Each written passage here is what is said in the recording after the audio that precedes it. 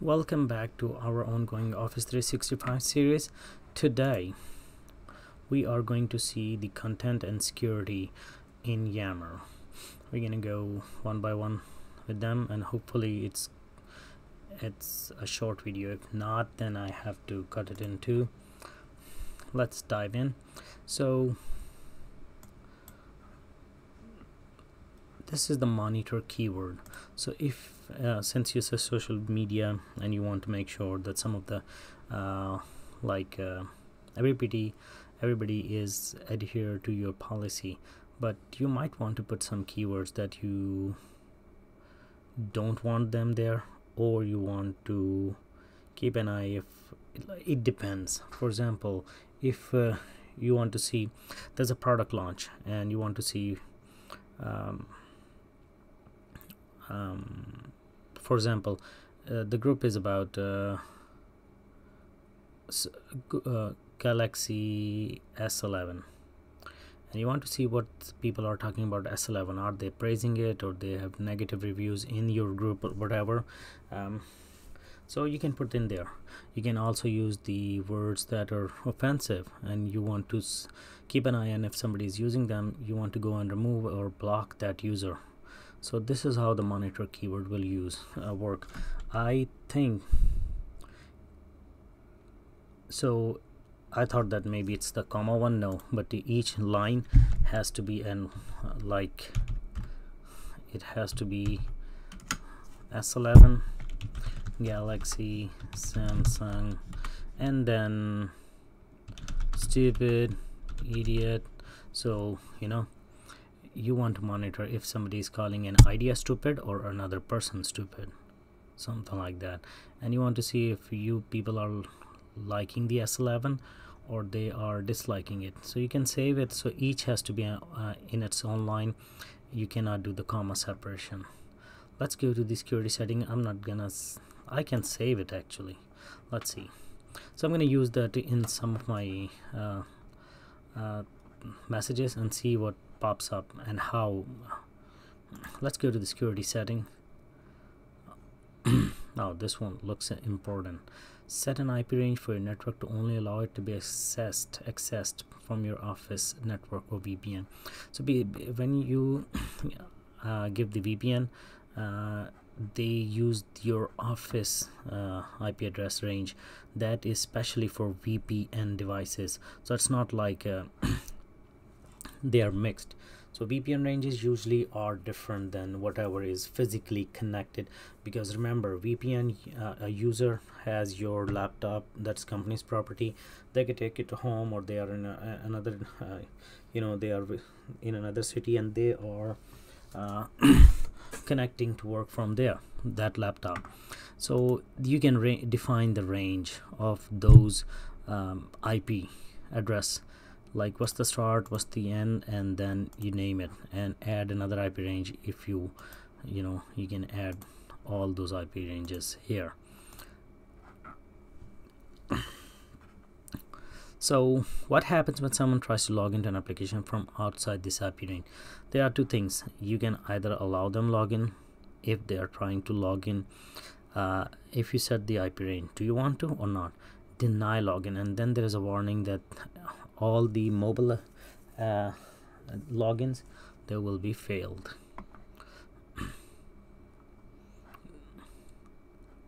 External messaging. Is basically allow user in this network to participate in groups convers conversations in other network. Do you want your users to be able to send uh, messages in other groups and external networks or do you want external users to come and participate in your groups or uh, network in your conversation? So the second one is a little bit restricted you want because you have full control over your users you can you know they work from your organization. So you're allowing them to go and make comments in other groups but you don't want anybody else from outside to come and eh, comment or participate in your groups with the exception of those that you have invited. Remember in the last video we did invite and the third one is the most strict one. You are not allowing either yours or the external users to um, cross uh, message. 365 identity enforcement so basically it says is that if they have and this should be for your users only like if they have a Yammer account and they were trying they were accessing it uh, um, through the um, Yammer uh, account you can enforce it but I see it's grayed out. So Microsoft made it um, like compulsory. And we saw that uh, all uh, there were deactivated user here somewhere when we uh, saw last uh, night. So they have to have a 365 identity and in order for that they have to have a license 365 license.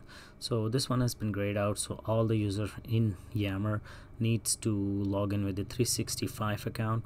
And i've been playing teams uh, today a little bit more and i'm pretty sure that yammer and skype are 100% gone. Block office 365 users without yammer licenses. So if a user it has 365 but uh, I can try to show you uh, license and apps here. So you see all the apps. So if mobile device management. So if the guy is stripped of Yammer then this per user the Aslan he cannot log into Yammer. He has Office 365 he just does not have the privilege to go to Yammer. I'm gonna cancel this. So this is very simple and connected Yammer groups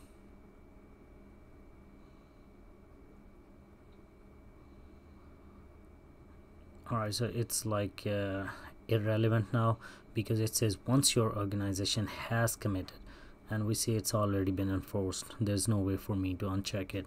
So this automatically applies. But it's simply meaning that connected group will be enabled like if they are all the connected group are automatically enabled for this network as well that we setting up.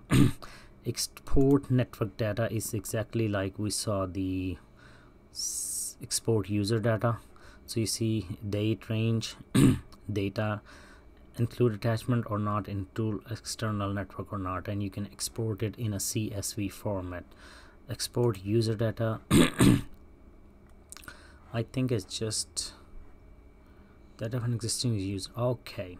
So that user data was for everybody. This one is for one particular one. For example if I want to now I can export Ali's data. So only one user. If I want to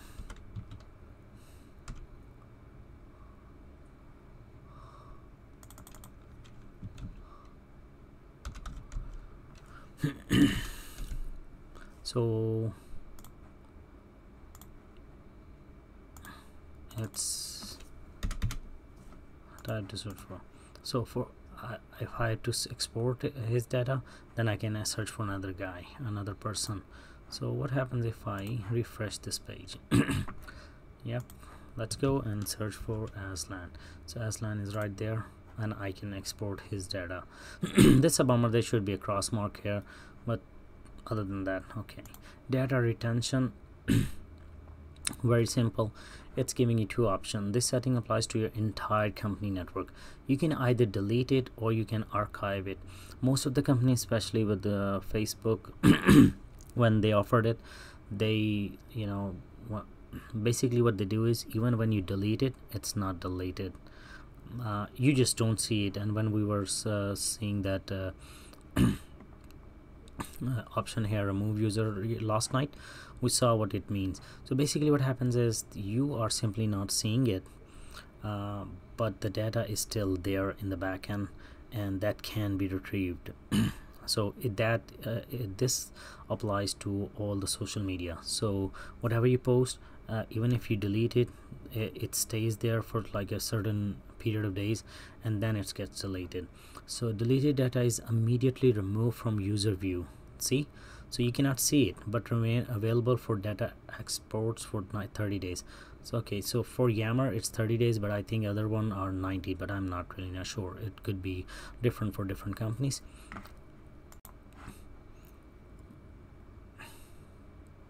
Or you know this is like uh, technical jargon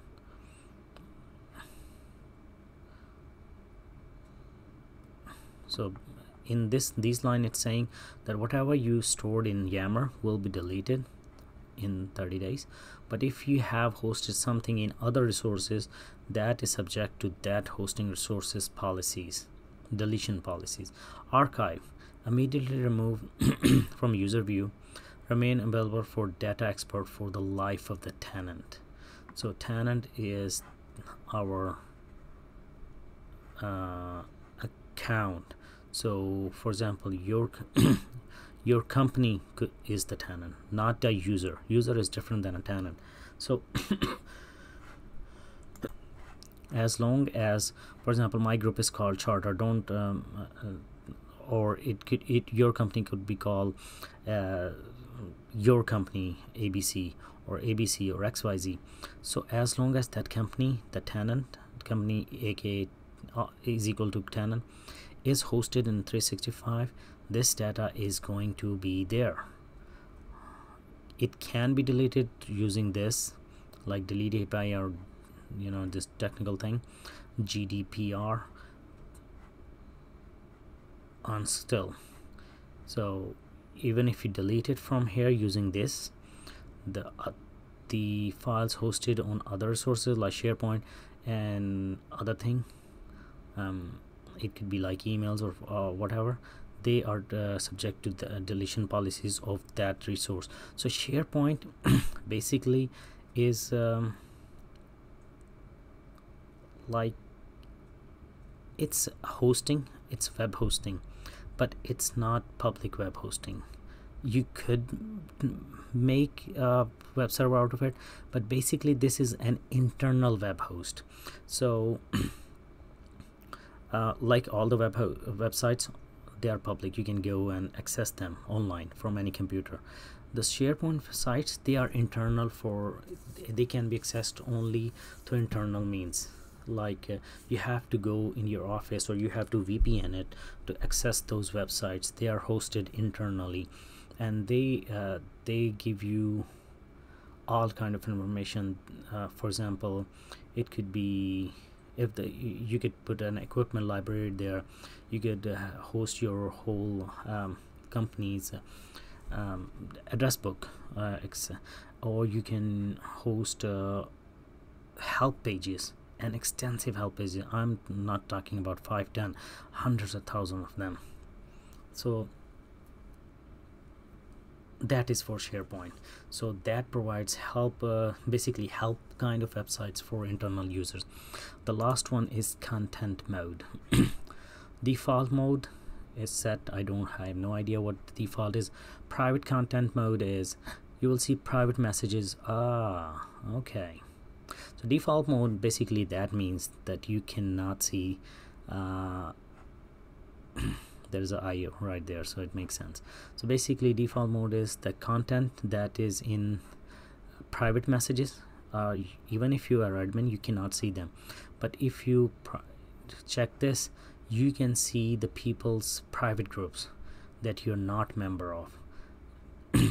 So but they say do not turn this mode on because you will be in trouble if you do that. That's a kind of spying or you know illegal surveillance kind of that and you you're not authorized to do that. Legal reason to do so. That would be like if you were told by a legal authority that you have to turn this on keep an eye at post or you know send thing. It only applies to your individual admin account and this setting is only for the admins. So basically you the admin alright so that was all for content and security. Uh, I'm gonna wrap this video here. Um, if this video has helped you please rate comment like subscribe and share. And you have a good night